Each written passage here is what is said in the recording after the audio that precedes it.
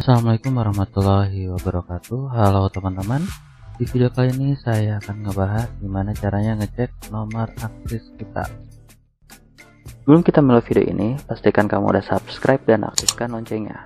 Karena subscribe itu gratis dan biar kamu juga nggak ketinggalan video terbaru dari channel ini.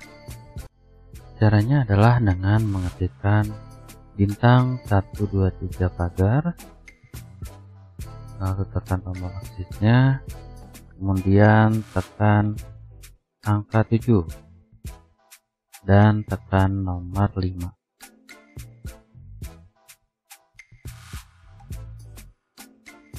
Nah, di sini udah kelihatan nomornya ya. Maaf, di sini nomor saya saya sensor.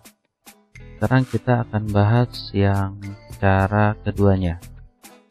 Cara kedua adalah dengan menekan tombol bintang 123 bintang 7 bintang 5 pagar. Kemudian tekan tombol teleponnya.